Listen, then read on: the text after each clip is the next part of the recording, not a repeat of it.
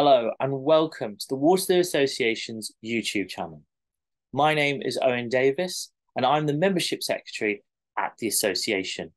And it's my great pleasure to be able to host today two of our experts as we discuss the release of the new trailer for Napoleon.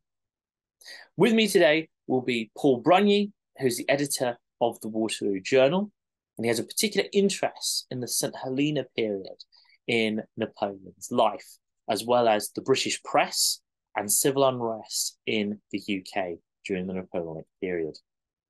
And we will be joined by John Morewood, who has been the secretary for the Waterloo Association since 2013. He lectures widely on a range of Napoleonic themes and has co authored a book on Nelson's flagship at the Battle of the Nile and has also researched the life of Sir William Ponsonby, who died during the Battle of Waterloo. John has also lectured uh, on a tour of Napoleon's Italian battlefields, and he has visited many of the Napoleonic sites, including Austerlitz. So, welcome again to the channel, and I hope you all enjoy the program. I, I, was, I was, thinking today, uh, when I was musing on this, about the coronation of Napoleon and Josephine, and there was great debate about whether um, David's painting should show Napoleon uh, crowning Josephine, or whether it should show Napoleon crowning himself. Um, and while I was looking at that, I, I, I noticed a, a, note somewhere that, of course, uh, one of the people who gets a tremendous um, outline with a dark background behind her in the painting in uh, Notre Dame is is Madame Mère, Napoleon's mother, which is all very well, but she wasn't there. Oh. You know, yeah. Uh, history is is painted by those who, who pay the artist, as as, uh, as they say. So that that's always a problem, isn't it? I didn't know. That. Oh, that's a, that must have been a, a bit for, for poor Napoleon that his mum hadn't wasn't there to be at his coronation. Well, um, of course, she didn't necessarily approve of Josephine, um, and and uh, again, um, Andrew Roberts, uh, I read recently in that, that great book of his, um, points out that um, only after Napoleon and Josephine are married um, does she reveal the um, the depth and width of, of her financial worries. And of course, he's a great man, as, Napoleon, for um, trying to uh, keep um, his ledgers in order, whether it be the number of muskets going to the army or the amount of money in his personal funds. So to discover that uh, Josephine is um, a profligate uh, woman uh, did not go down very well with him. But how wise of her to wait till they were married to reveal it. And, and, and that's not that's not to be rude uh, uh, about Josephine, um, because I, I, I think um, you, have got to you've got to remember that during, during the horrors of, of the revolution, that um, she first of all was born in the West Indies. She it's her grandfather who'd taken the family out there to set up um, a plantation, and of course she gets to um, her teenage years, and and she's sent to France to to set up a good marriage, and um, she marries uh, General uh, Beauharnais. Uh, they have the two chul- children, and she's at the uh, you know wrong place, wrong time and he Beauharnais is uh, dragged before a court and um, with very little ceremony he is sent to the guillotine and in the, the period between being arrested and being sent to the guillotine uh, she actually stands up for him which is very brave of her because she's got two children to think about as well as a husband but in revolutionary france she actually stands up for him and as a result of all that, after after he's executed, um, she ends up in jail in Paris. Mm. And I, I do wonder to what extent the fact that she is in this church crypt in central Paris, along with a lot of other well to do people who must be looking at that door in a place that has apparently very little air circulating, is crowded, where the prisoners get, I think it's one bottle of supposedly fresh water a day for all their needs, and no lavatories, and a what passes for breakfast, lunch, and evening meal, they're looking at that door wondering who's going to be dragged out next. Mm. Um, she she put she puts up with all that as, as well. So in in part, I'm not surprised as, as some historians and generally men, uh, I'm not surprised that they said, well, she she was a very avaricious woman. Um, but um, Andrew Roberts again has put it quite strongly and says, yeah, in, in effect, is she suffering from PTSD? Lost her husband. She's got two young children to think about.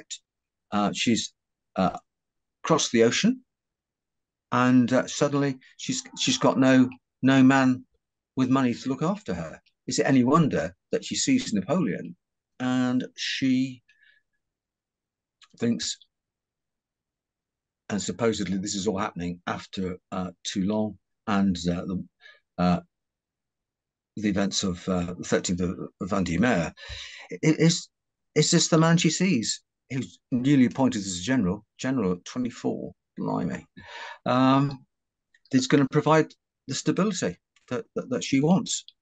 And not surprisingly, as I half jokingly said a moments ago, she um, reveals all these debts she has.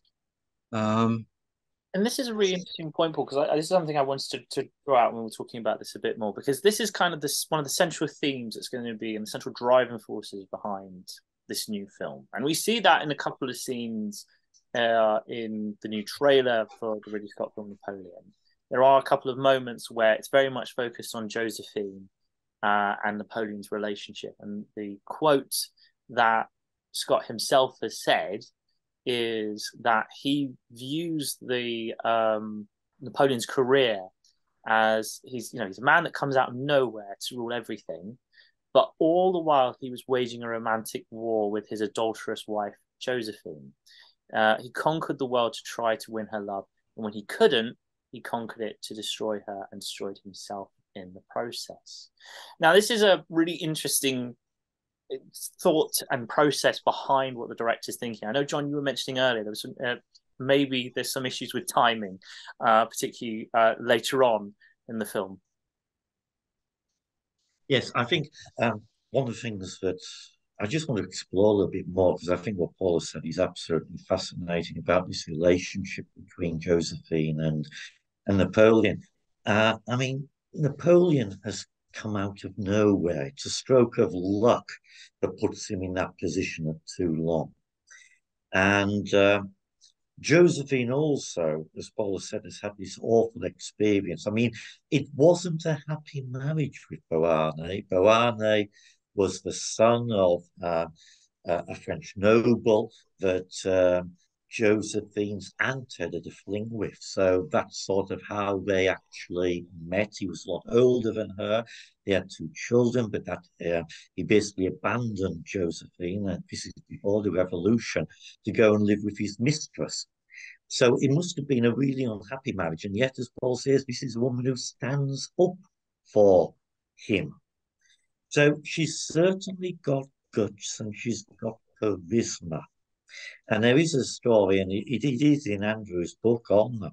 You know, when uh, Napoleon has found out that uh, Josephine has been unfaithful, at one stage he's determined, he's, he's told Marmont, I'm going to end it all, etc., etc. I'm going to storm back to Paris, um, I'm going to storm in that house and actually fling her out.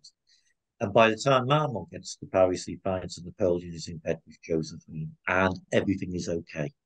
So she's certainly um, a force to be reckoned with.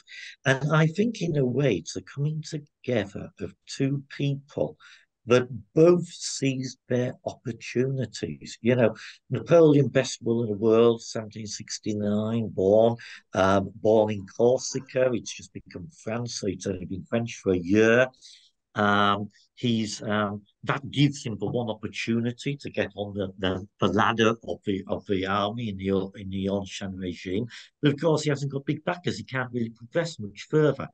And by the time you get to this situation in August 1793, there he is manning a convoy supply to get um, basically ammunition and troops into um, the area around Toulon for the French to start besieging it. And the reason he gets the job is twofold. There's, and there is a bit of luck in this guy. One, the guy who's commanding the artillery is wounded in a sortie. But second, Napoleon has written a political tract. He's a wise guy. He's written this thing that's very pro-Jacobin called the Supper at Beaucaire. And um, Napoleon actually connects with the he recognizes the uh, the French representatives on mission, how powerful those men are from the Committee of Public Safety. And he goes and tells Salicetti, you know, um, I can do great things. And there was a person who, said, who had a better track record in artillery for actually commanding the besieging at Toulon he doesn't get the job because he's seen by Salicetti as not being pro-Jacobin enough. Mm. Napoleon is. And uh, you know, there's there's there's no doubt he does link in interestingly, very much as Paul says. You know, some people have criticised his initial artillery dispositions at Toulon, um, but we're seeing a young guy in his twenties here working his way up, taking his chances. You can't doubt his bravery uh, when he goes in with Dugommier to try and storm that fort, the key fort at Toulon, Fort Mulgrave. And he, he, he sees the opportunities and he takes them. And in a way, Josephine does the same. And I wonder if, really speaking, we're looking here at two, you know, one of the great power couples. Uh, they complement each other. Yes, of course, they fall out over her infidelity, over debts, etc., etc. But she chooses him, he chooses her, and it's an ideal match. And one of the things that I do worry about, we were talking about before, is because she dies in May 1814. And what I don't want to, to see in this film is Napoleon doing one of his Homeric things of grief for Josephine. Let me all throw it away in 1815. I, I'm hoping that that doesn't appear in the film. Well, I suppose uh, so. That's a really good point, John. And uh, we've also, I think, um, as you say, that they are both taking their opportunities. I was um, looking looking again at um, Napoleon's rise to, power, and, and you, you, and as much as there were dangers for everyone uh, throughout France um, due to the terror.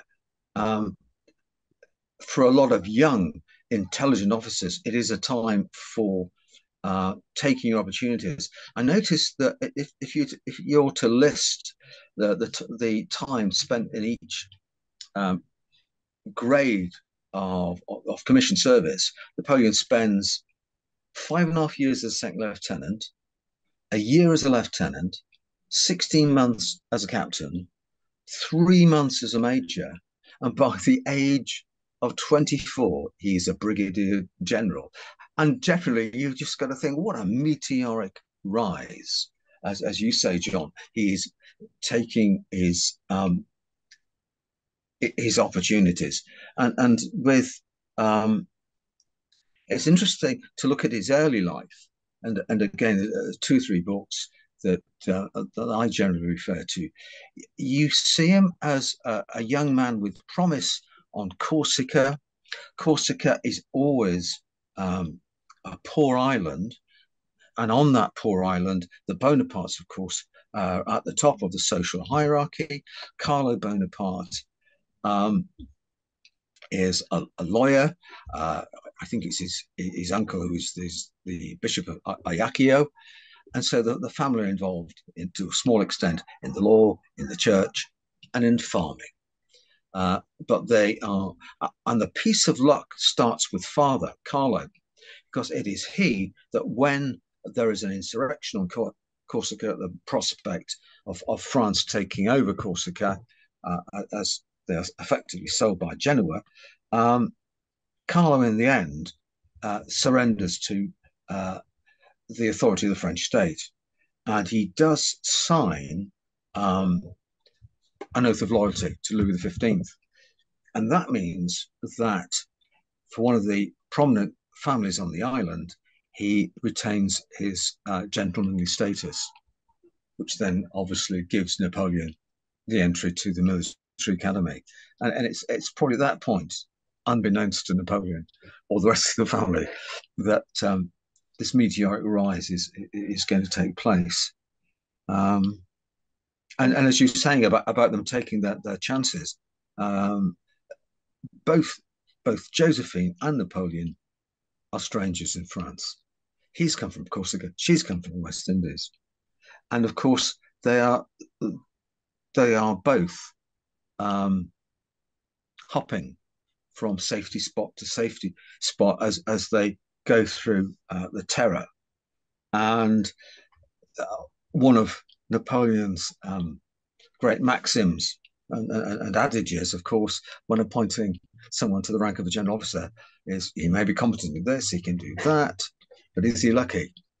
And I, I think during the early 90s, there's that, that, that there is that early period when, um, in a sense, he's both lucky and unlucky in, in, in that when uh, Robespierre and the rest of the Directory finally fall, and the uh, the terror is brought to an end. Um, it's just ill luck for Napoleon that he's um, actually um, in the south of France, and I, think he goes to, I think he's in Genoa, where he's carrying out a survey of of defences, and also carrying, and this is um, a secret meeting uh, that uh, Maximilian's brother, the other Robespierre, arranges with Napoleon. And um, when uh, the Robespierres, etc., all the co-conspirators of the terror are rounded up and promptly executed, um, obviously the, the new government uh, decides to investigate uh, who are the other uh, outer members of the great uh, circle of terrorist uh, revolutionaries. And in August of that year, they do actually finally catch up with Napoleon. And that's the time, and you sometimes see this amongst images of Napoleon, where um, you sometimes see an image of, of him as a young artillery officer looking very poor uh, and starved in his garret. And the other one you sometimes see when he's in prison for 10 days. But fortunately, and yet again, this is when his luck, luck kicks in. Um, there's no evidence against him because he has shown that he is a, a loyal uh, servant of the ideals of the revolution, not necessarily of the governments, but certainly of the um, of the ideals of, of the revolution. Um, and I mean, because we were we were kind of alluding to that a bit earlier, that you were saying about potentially, um, as Andrew Roberts has been arguing, potentially Josephine had PTSD, and we were saying earlier that there was a few instances where it did come a bit close to to ending.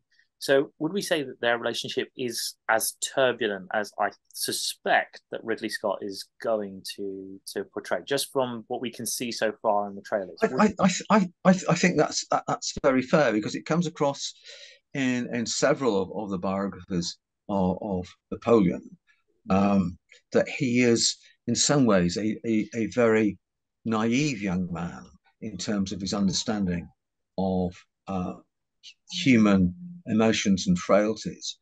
And, and one of the things that struck me over the last couple of days, reading about this and musing on it, is that um, there is there is that old adage that the um, the opposite of love isn't hate, it's indifference.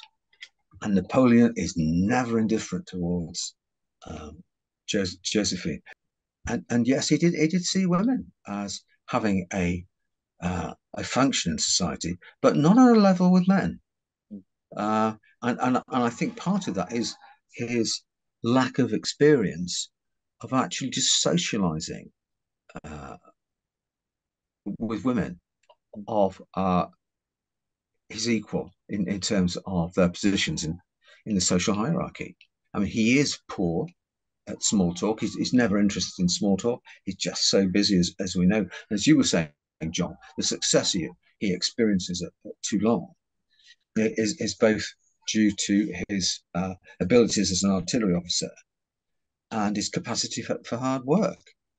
Mm.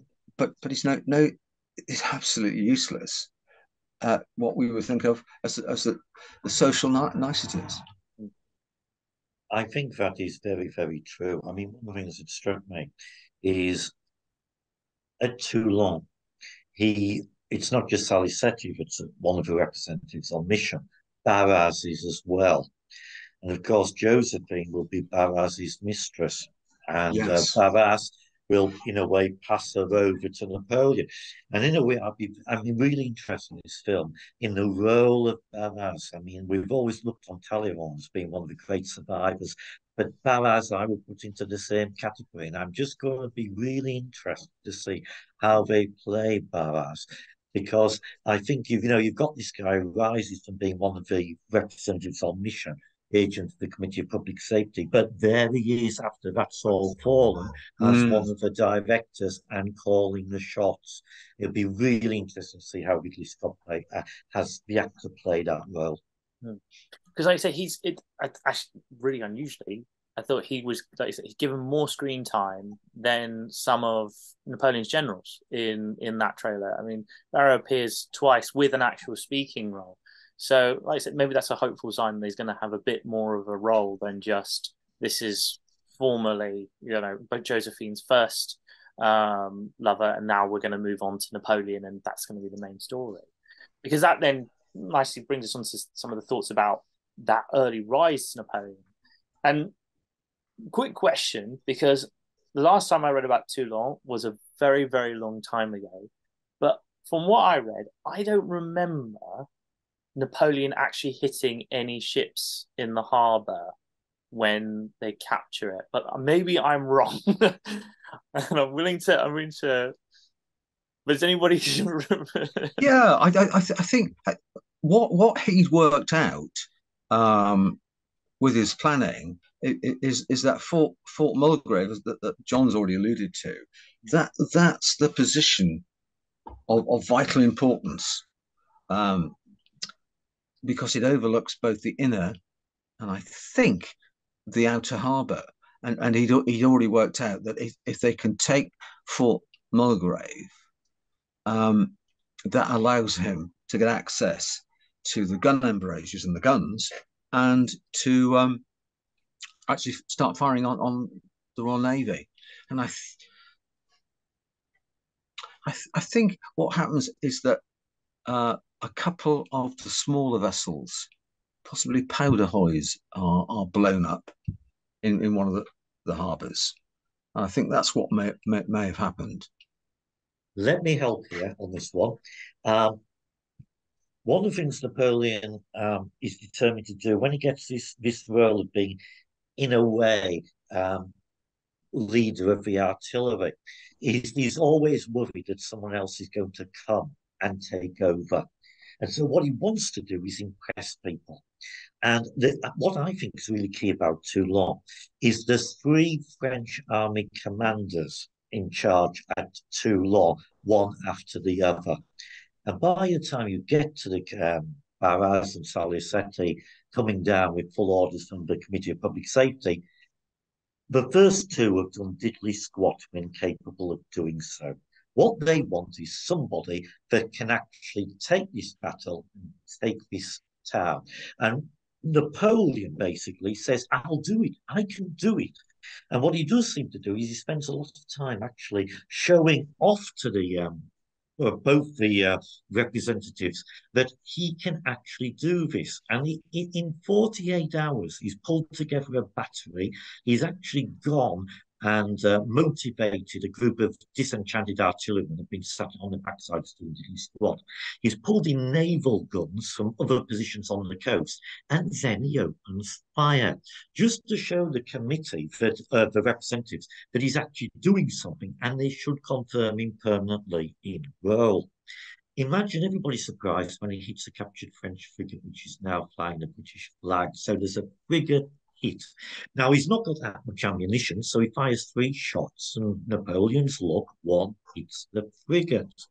Well, what he then does is, over a period of time, he actually constructs probably more 15 batteries. And the, and the representatives on mission say, yeah, keep on going, because as far as they're concerned, he's the only person that's doing anything to take Toulon. And the more batteries you uh, he actually constructs, the more artillery pieces he brings in, he can hit ships in the inner harbour. And Paul's absolutely right. The British uh, Hood tries to put in two barges to attack Napoleon's positions, his batteries, and Napoleon's ships destroy them. But they also bizarrely set on fire, although the fire is put out very, very quickly, a Spanish warship, because remember, Toulon isn't just British, there's more Spanish um, troops at Toulon. They're an ally at the time. And San Juan Nepomuceno, which is going to be a Trafalgar, is actually set on fire, would you believe, by one of Napoleon's guns.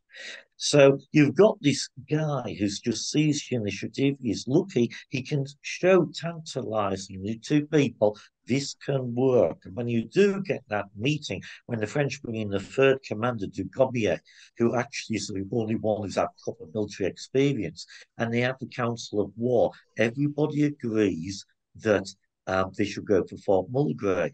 And it's going to be a pincer movement. There's an attack put on the eastern part of the harbour to, to make the Allies think that that's where the attack will come.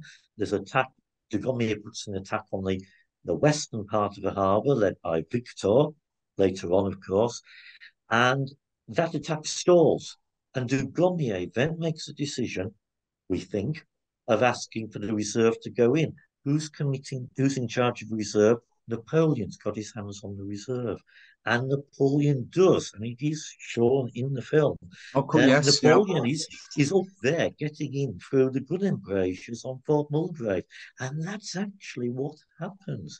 And as Paul says, once you take uh, Fort Mulgrave and the other attacks, they may not have been that successful on the eastern part of the harbour, but by then we've got shaky people from Sardinia and Naples, who are also fighting alongside the Spanish and the, and the, and the British troops, they're shaky and they flee. And all of a sudden, the Allied thing starts to collapse. So I, I do feel that the, that, that the credit given to Napoleon for Toulon is justified.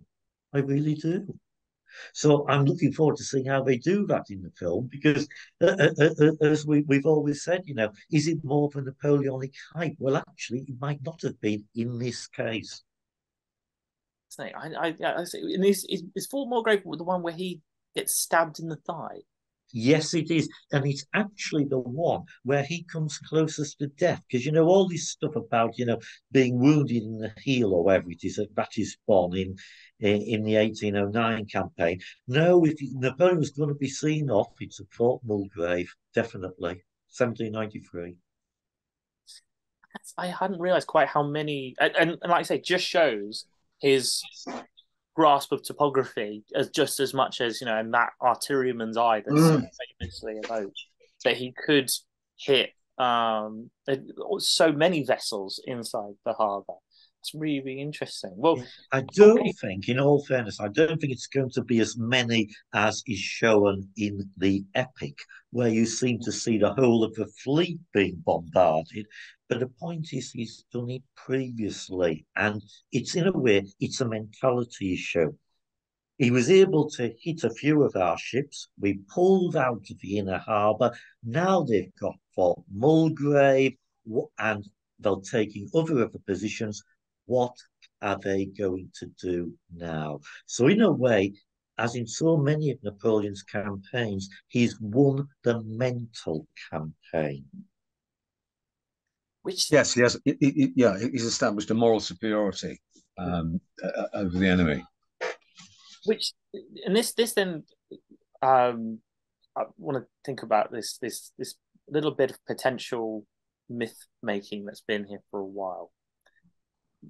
so we so we move on from Toulon, we move on from that the revolutionary upheavals in the beginning, and that relationship with Josephine starts to form, and then Napoleon goes on to what, apart from Russia, arguably is one of his most famous campaigns is Egypt, um, and we see them using the pyramids as target practice, and I, I think that this is a bit of a nod to an older tradition, which is that he used he told his grenadiers to use the nose of the Sphinx as target practice. But is there any particular reason why we're we've got this obsession that Napoleon, despite the fact that he brought so many Egyptologists with him, so many men of science with mm. him in order to study Egypt, why there's this feeling that he actually went out there and took pot shots at some of its greatest memorials?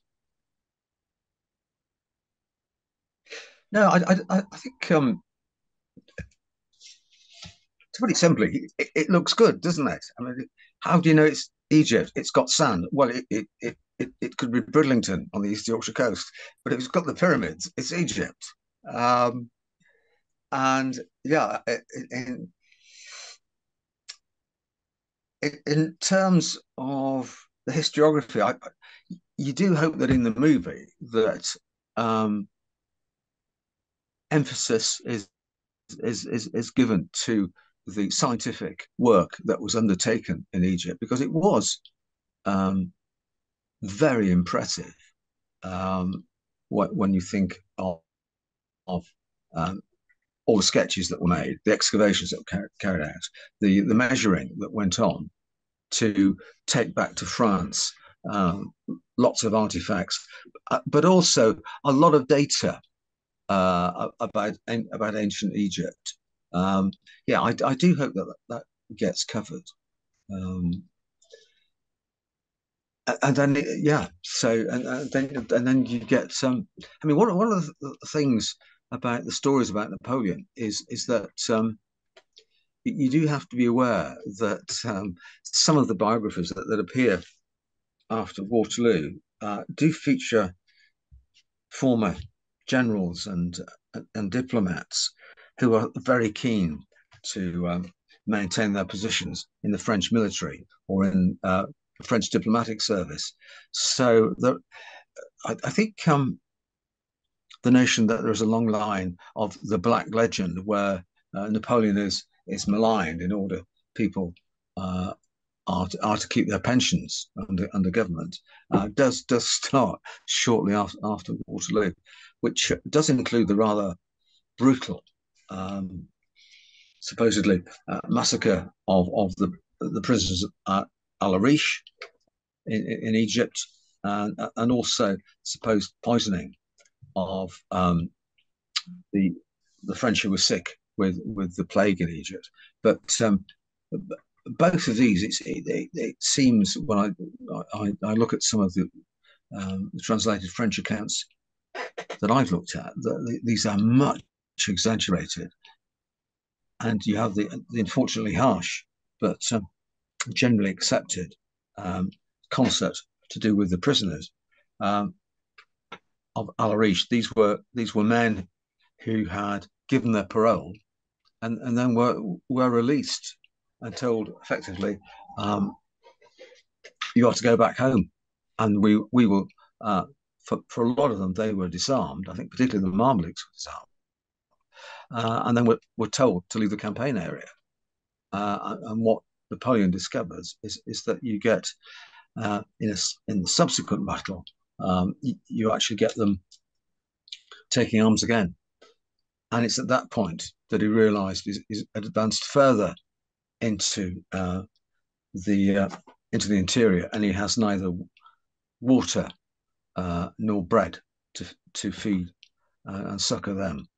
Uh, and only really enough for, for the French army. Uh, and, and that's when they are um, shot for taking up arms second time, having having given their parole, which is very harsh.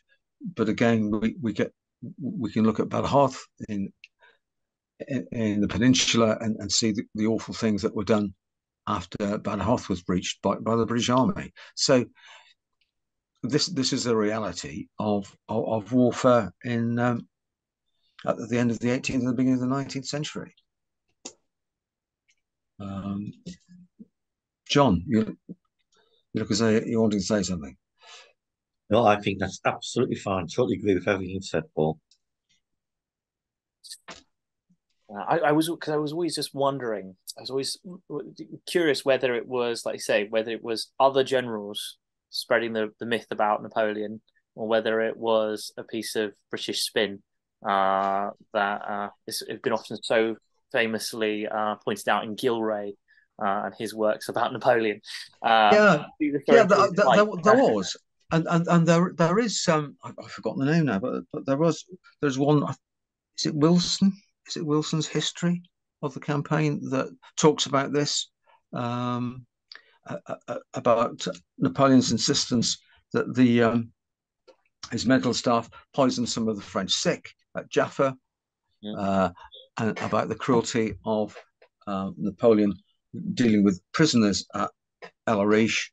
Um, but certainly with the sick at Jaffa, uh, it, it, seems to be the case that the, that just about everybody is dead before the French leave.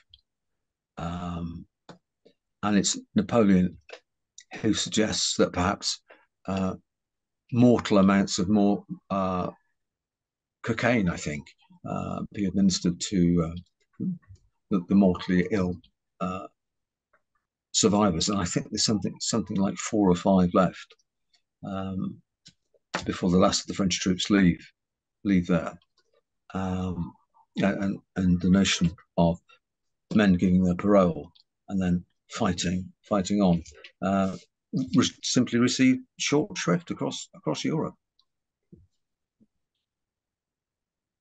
Yeah, really, really likes it. Really interesting to, to, look at behind some of these, some of the stories, because I say so many, so much of this often comes down to us from recollections and memories of different soldiers who were either there or rumors and stories. I mean, even even in the age of mm. media attention, so much of this goes to comes from um, what was the famous French expression to lie like a bulletin, wasn't it? Yes. Uh, if I, I, I might not be saying that 100 percent for the quote, um, which interesting enough because we we do see a bit later on. Then there is a scene which must be Austerlitz because there's a scene a bit later on where um, Napoleon is informed by a general that they've been discovered. They uncover their cannon and they fire on several soldiers on a lake. Now, obviously, we don't know. Maybe this could be 1812, um, but there's a, probably a good chance it's Austerlitz. Now, what do we think about um,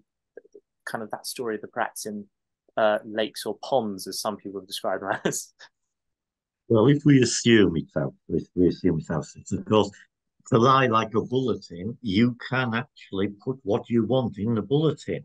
And what the the, uh, the origin of this story is um, twenty thousand um, Austrian, mainly Russian troops killed by crossing frozen ponds. French artillery opened fire, and 20,000 are, are, killed. And this is actually fueled by Napoleon very shortly after the battle.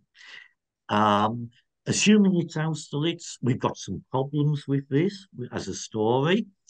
Um, and I do hope that, you know, in the film, we'll see the true mastery of Napoleon at Austerlitz, the deception of the Russian high command in thinking that Napoleon doesn't want to give a battle, the actual masterstroke pulling off the Pratzen and then obviously retaking it, putting the Allied army in half, etc., etc. The battle is won before what actually happens at the ponds. And this is where the Russian left, realizing that um, it's being attacked now on two fronts the, the, French right, which is held on, and obviously the troops being sent down from the uh, French position having retaken the Pratzen decide to retreat. There are true two ponds. It, the ponds have got ice on them. And the weather of December 1805 for, for about three or four days has been mild. Some of the ice isn't as thick as it was. Absolutely true. Absolutely true. There are some artillery positioned by the French to basically cut off the Russian um, retreat along a road which skirts the pond and also to fire on a and accounts differ, a bridge or a causeway that separates the two ponds. So we know that some artillery is used here. Um, what's the problems with the story? Well, it isn't 20,000 men killed because there's only 5,000 Russian troops in the vicinity at the time of the retreat. Secondly, the ponds aren't deep. One is actually used to, to provide the Austrians with carp. And it's reckoned that people could actually wade through the ponds. The story about the carp is really important because about two weeks after the battle, the French basically drain the pond to actually get their hands on the fish to feed the army, the troops that are still there. What do they find? Do they find 20,000 Russian dead? Or, as David Chandler said, perhaps 2,000? No, they find three Russian dead and a 100 horses and cannon. And I'm left thinking that what actually happens here is that there will be some people drowned crossing the ponds. We know that. But most people will stagger their way through, they'll stay on the, the actual um, shoreline, just like at Lake Peipus, a great, you know, other battle on the ice, the Russians fighting the Teutonic Order. Um, but artillery is too heavy. And I think what actually happens is if there are casualties at the ponds, then um, you know it's going to be the horses dragging Russian artillery, who in the panic as darkness is falling, you know this is happening between two and four o'clock in December.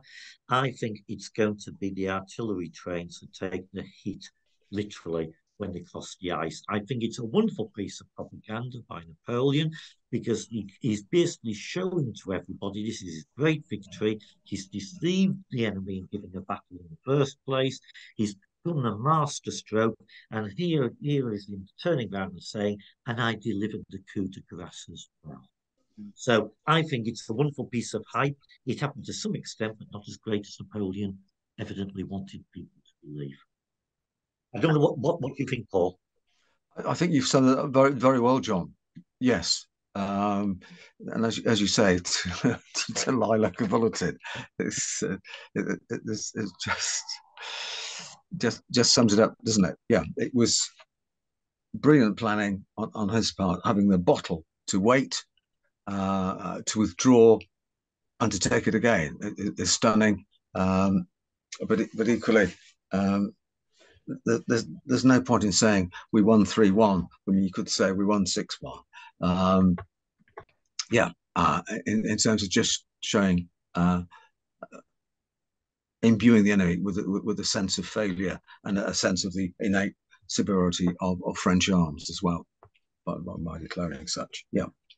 Like say, it is almost a callback to the great heroes of the past, like they say uh, Alexander Nevsky, all the way back uh, uh, at Lake Peipus, uh, and saying I'm I am much like them and mm. I'm as good as them or maybe better even.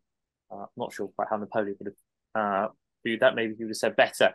Um, so then what did so what did we think about Waterloo in comparison? Because you get these some great shots of them coming into the to the squares um, in Ney's charge towards the end of the day. What, what were some thoughts about that um, as a representation?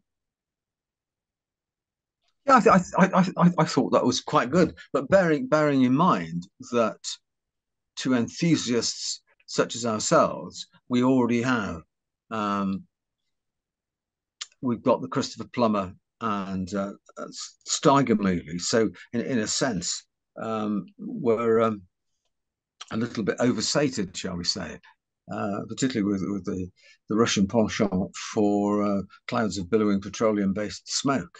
Um,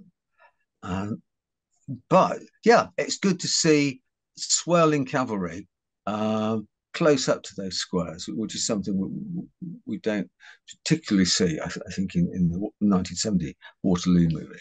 So, so that's good. Um, but I'm, I'm hoping that we uh, I was more taken, I have to say, with uh, that that shot in Ridley Scott's movie of uh, uh, Joaquin Phoenix galloping along very confidently on his horse and swinging a saber. um, which my understanding has always been that uh, Napoleon has um, even less less competence than me on a horse, and I've I've even fallen off a hobby horse uh, in my time. Yeah, so um, good, but um, which also leads me on to did Napoleon ever, sorry, did Wellington ever refer to Napoleon as vermin? I, I, I think he was um, far, far too much of a gentleman to do so. And I, and you've really got to look at the um, his correspondence in uh, Wellington's dispatches. He, I mean, when he's in Spain, he always refers to uh, Joseph either as the king or as Joseph, and um, he refers to Napoleon in his correspondence as Napoleon. Um, and uh, that did seem a little harsh to me, uh, to referring to him. That's um, um,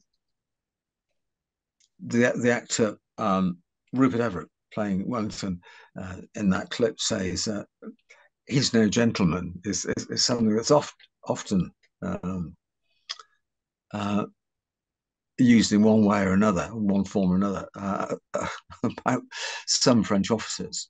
But um, yes, that, that seemed very harsh to, to my to my way of thinking.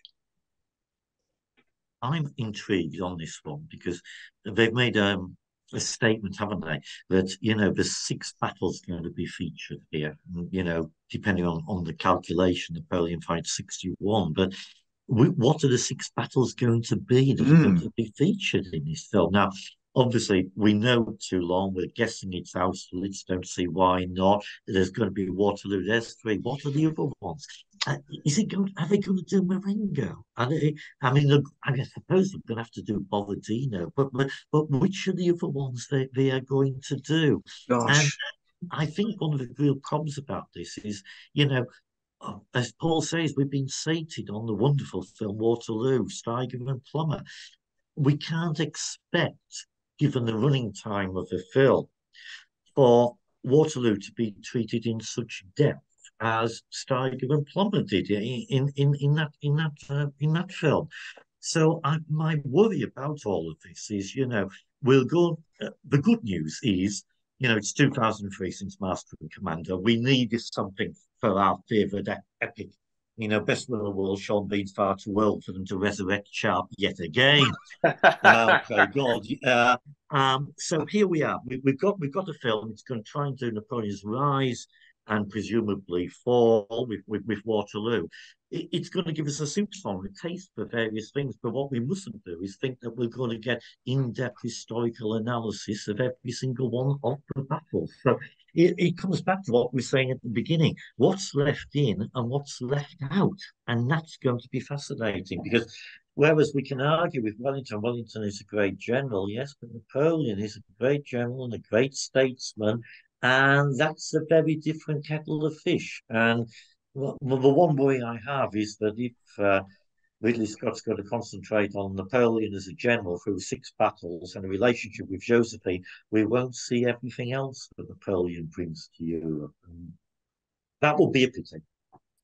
yes. And, and, and, talking of Wellington, I think whilst Wellington, yes, is so important for the Waterloo part of the campaign, it actually, on a like you say, with time constraints, it would be more interesting on a personal note to see his relationship with Alexander of Russia, because that, like you said, that's a person who he had more of an intimate relationship with for a much longer time than he ever did with Wellington, really, because as well, he is if if history tells us he only saw us from across a, uh, a battlefield, but some of the re- latest releases of photos seem to show him uh, in in a in a captain's cabin uh, on a ship having a chat. My goodness, no, that I, I can't.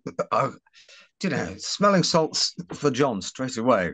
Um, yes, so so we, we have to remember that, that that when he leaves Paris at the insistence of the provisional government, Napoleon goes to Malmaison, uh, and and so that's that's deliberate by, by the French government to get him out of the way so he can't raise uh, the mob who he'd faced down and shredded uh, on the 13th of Vendemiaire. Um, and and then agonizingly he takes the decision he knows he has to leave and goes to Rochefort, where he ends up um, prevaricating on on when and where he should uh, depart from from France.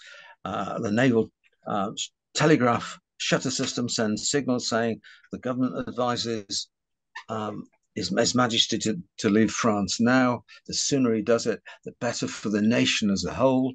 Um, and then Admiral Hotham um, has command of the Royal Naval Squadron down the uh, western edge of France, which covers Rochefort. He detaches uh, HMS Bellerophon under Captain Maitland, and it's to uh, Bellerophon and Captain Maitland that Napoleon uh, presents himself.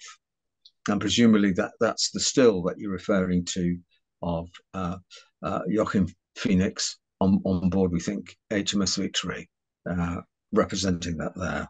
Um, so that's still showing Wellington in uh, a, cabin of um, victory. Never happens, and it is the deliberate policy of the government that Napoleon A is not to be landed in England, and he is not to meet uh, anyone of note. And that particularly includes uh, the Prince Regent. Uh, and it's um, Admiral Keith, I think, in one of his letters, who writes, were he to meet the Prince, then they would become the best of friends in five minutes. um, and so not even not even Maitland's wife is allowed to come on board of Bellerophon uh, when they're they're anchored off uh, Torbay uh, near, near, Brixham, and then they they move round towards Plymouth uh, when there's an attempt by um, Whig admirers of uh, Napoleon to try and get uh, Napoleon landed to take take part as a witness in um, a court case. So it's all a bit of a up job, but the bottom line is Napoleon never meets Wellington face to face at all. And the nearest connection we get, other than across Waterloo, is that Wellington, on returning from India, had stopped at. Helena Island. Um, and that's the nearest connection they, they ever get. a, bit of, a little bit of foreshadowing there, really, in the story. Yes, yeah. So I, I think, um, uh, as, as, as you were saying sometime earlier, Owen, I think it's it's possibly a dream sequence, or or, or as John would would probably say, a bit of a nightmare, actually, a bit of a nightmare, the idea of Napoleon and Wellington facing each other across a small table. Um, yeah. So there we are. I think what will also be great about this film, um, besides the whether the dream sequence actually plays out, is is like all these things, spotting where the locations actually are. Because I think they're using one of the forts on Malta for Fort Mulgrave and Toulon. But the rest of a lot of the locations are in England. So Lincoln Cathedral is doubling up for Notre Dame and Blenheim Palace will be is being used. West Wycombe Park is being used. So is um, Petworth. So it's going to be one of those great ones of trying uh, trying to spot the locations. Mm. Um, uh, uh, so of course is the Royal Navy. Uh, um, Greenwich. So, uh, you, you, know, it'll be great to see uh, if we can spot the various locations that have been used. Oh, I they're using Greenwich as well. That's really cool. So, like I say, and this is, I think that's this is going to be the really exciting thing. There's, it's, it is so nice, like you were mentioning earlier, John. We are, we are seeing for the first time a major blockbuster on the Napoleon period, and like I say, there are there'll be things here and there that we can chat about, and I'm sure we'll chat about this in the future. But I think the more people are interested uh, in Napoleon, the more people in effectively a world changing event in, in history, the better. Um, so I have one last question for you both. Um, out of all the things, and obviously we appreciate that the trailer is just a trailer for now. Things will change. So many trailers promise a lot of stuff, and then things get cut for time, things like that. Uh, and also, Um, we've got we've also got the time constraints on the film itself. What would be the one thing that you would like to see brought to life in the final production for the Napoleon film?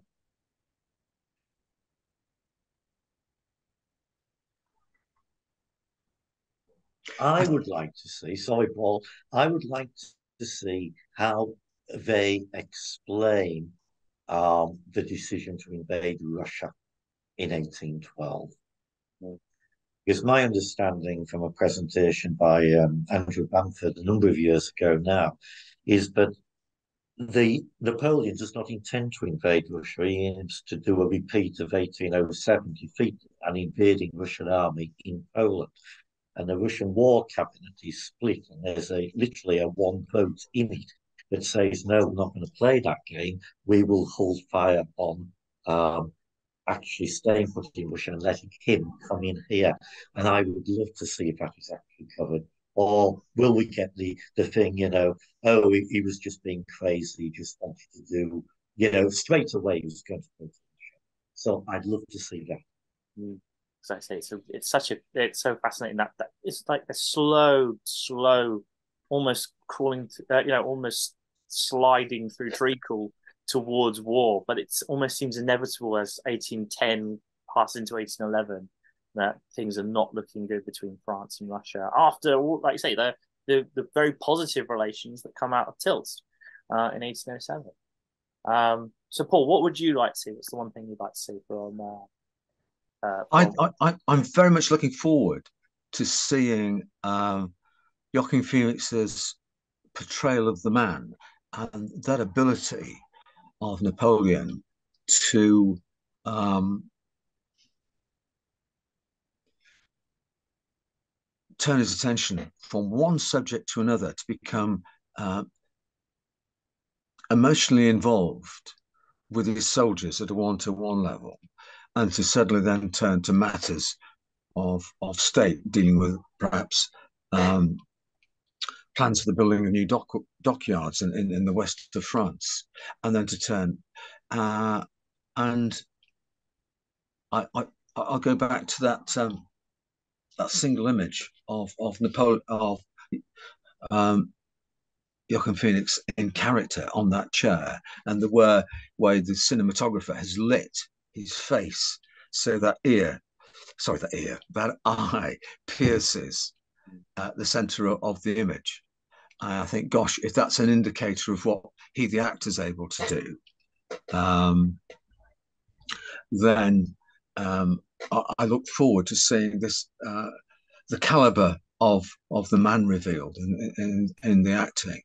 I, I, I, can remember many years ago uh, uh, being uh, present when uh, a British general, I'd say who it is, walked into this um, this this room and the reaction of a couple of hundred soldiers around him was remarkable. He had real charisma.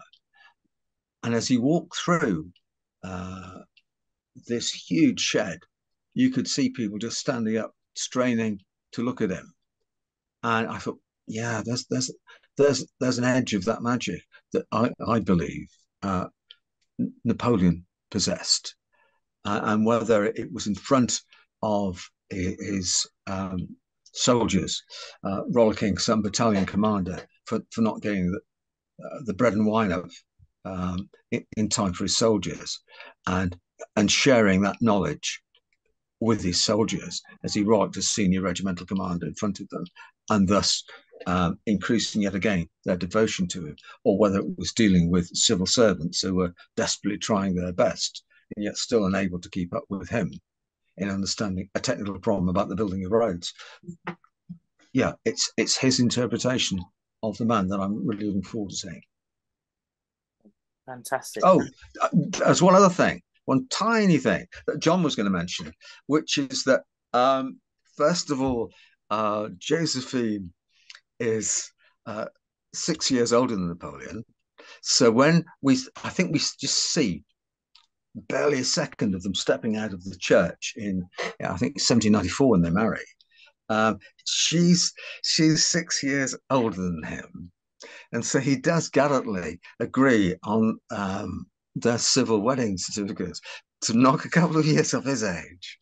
And I think she she um, advances her date of birth by at least four years. Uh, which is a joke which apparently on more than one occasion absolutely tickles him to death. And he says, Do you, you realize that um, Hortense, your daughter, must have been, been born when she was 12? Uh, how, how would you say you are on marriage certificate?